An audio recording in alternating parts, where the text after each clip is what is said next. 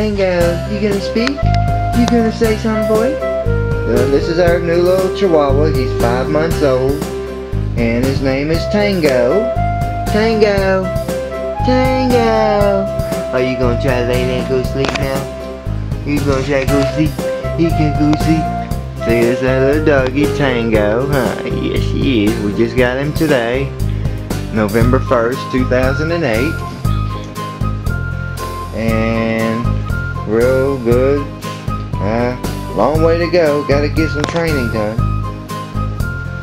And we just got his little training cage thing over at the PetSmart over here in Nacogdoches.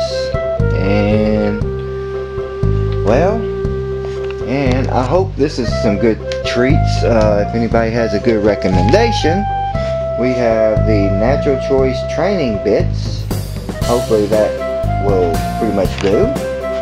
And he's just looking at it, he might. He's a good looking. and we just got his little name tag done and it says, let's see if we can see that.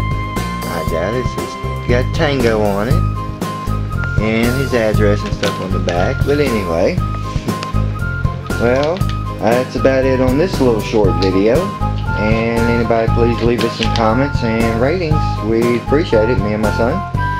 Because we did lose our little dog on, let's see, October 9th, 2008. A little tiny, as you can see on the other videos. But we're not replacing Tiny, you know, can't replace him. And, but Tiny, we miss him and everything. And this one kind of resembles him. Maybe a little bit darker on this fur and stuff, but, but that's okay. But anyway, he, this one, Tango, he gonna be a good dog. He's fun. We're gonna train him and everything, so.